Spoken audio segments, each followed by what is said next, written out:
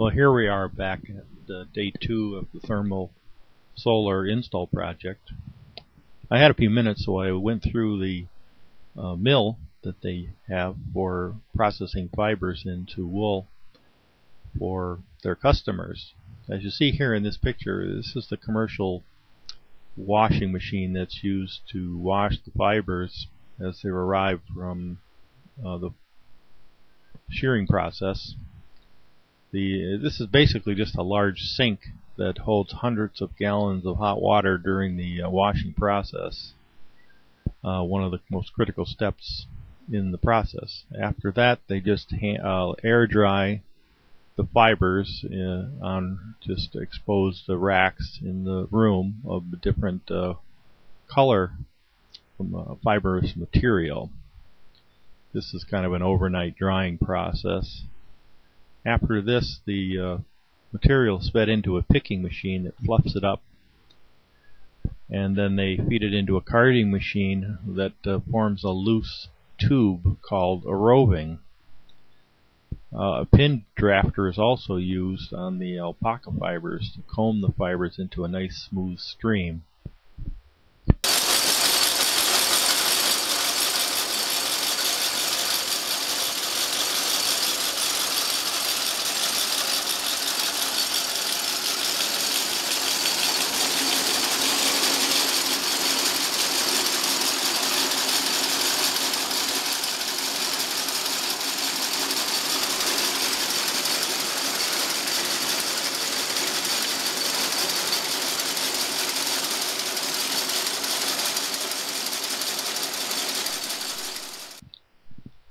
Then these coils of rovings are taken over to the spinning machine that teases the fibers from the stream or rovings and twists it into what's called a single.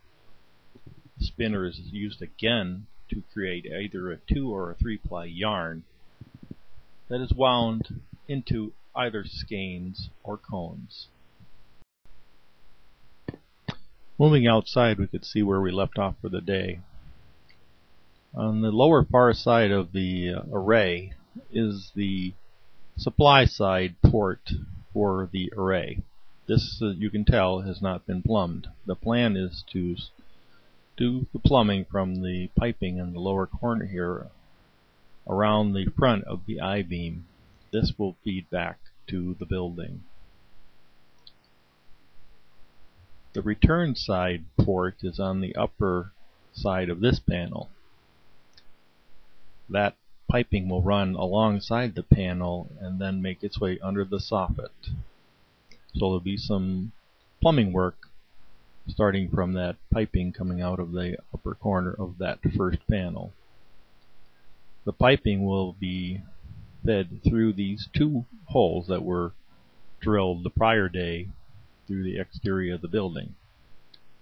Inside, Jim was already at work assessing what needed to be done inside. Uh, prior day that the drain back tank had been mounted and so he's sizing up some of the piping that's needed to run back to the back wall for both the supply and return pipes. On the inside we took the time to drill the holes from the inside perspective so we have a nice clear opening to the outside. One of the biggest uh, interfaces is to the heat exchanger which has also a side for the solar loop and a side for the potted water loop.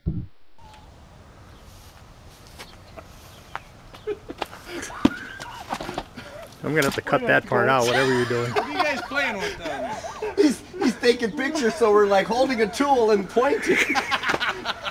Action shot. There we go. The whole system's breaking down here. This little assembly is made. Well, we, then we- we'll further push that one. And yeah, I'll get up there. I'll put the uh, sensor on there, or, or we could put this on here right now. And this is where that. Uh, we gotta That- the pipe first, and then right, but we could put two of these up there and smush it up high, we can switch to hold it up there, Okay. do a couple fittings down below, and then bring the insulation down over those fittings and come in from the other direction. Also, we can slice it and glue it back together with the adhesive. It's like rubber cement, and glue it back That's together.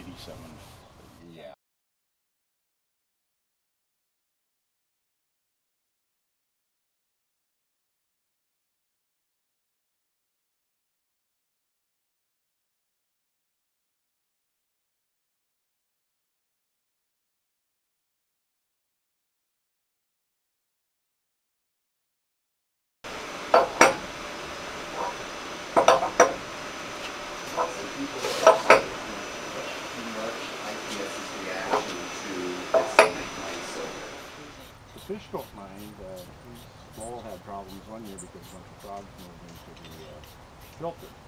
so on startup in the spring, mm. didn't know about it. You know, a couple of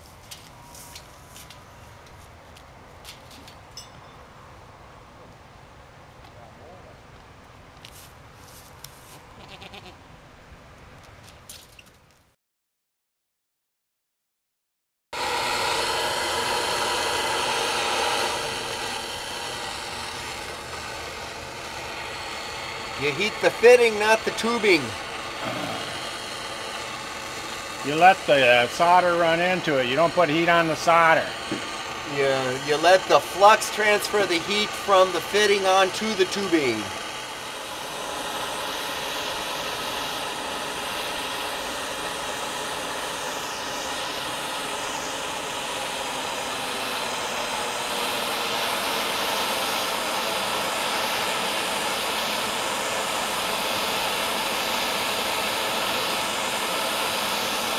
Starting to change colors, starting to smell.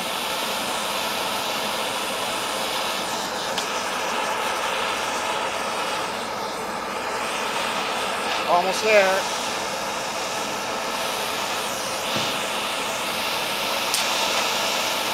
Run, baby, run. Get your glasses, Joe.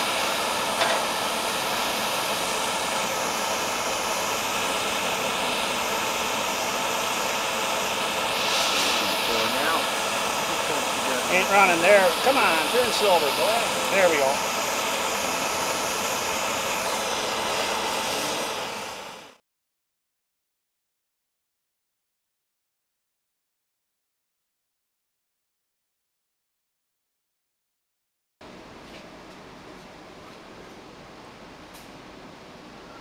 So this is the top drain back pipe.